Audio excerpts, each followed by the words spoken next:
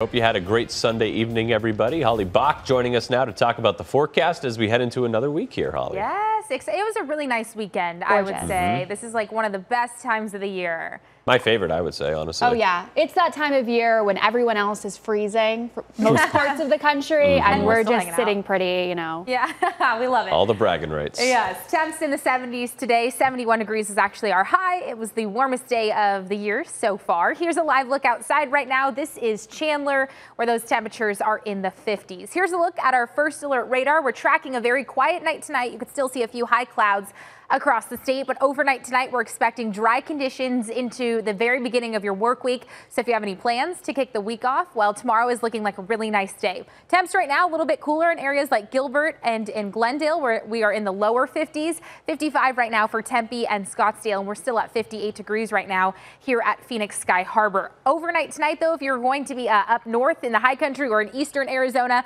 you'll want to bundle on up. You'll see those temperatures early tomorrow morning if you're stepping outside at 6, 7 o'clock o'clock, temps will be below freezing in areas like Winslow, Flagstaff, the Grand Canyon. We'll see 40s in areas like Phoenix, out toward the Bullhead City area as well, and 30s and 40s as well in southern Arizona for our Monday morning. But tomorrow shaping up to be a very nice one. Noontime hour, perfect day to eat the lunch outside. 62 degrees, calm winds. A few clouds by tomorrow afternoon with temperatures in the mid to upper 60s throughout the afternoon and the evening. So I said tomorrow will be dry, quiet, calm conditions, but we're looking ahead to our next weather system, and that's going to be off the coast of California. This low is actually first going to bring California some rain and some snow within the next few hours and really into tomorrow. And then that's going to shift eastward. By Tuesday, we're expecting to see a little bit of an impact from that system. So you can see here Monday, we're getting an increase in clouds across our state.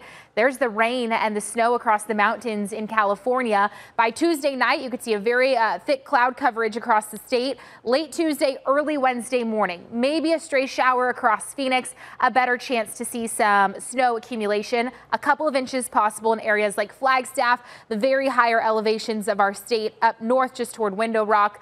Again, that's late Tuesday into early Wednesday morning. Very quick moving system. It's out of here by Wednesday morning. We're just left with a few clouds. So really, it's just only going to be with us by Tuesday, but it will leave behind much cooler air, dropping from 70 Tuesday to only 64 on Wednesday. The good news, we rebound back to 70s by Thursday.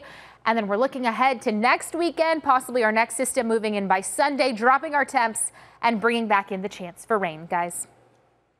Well, doctors say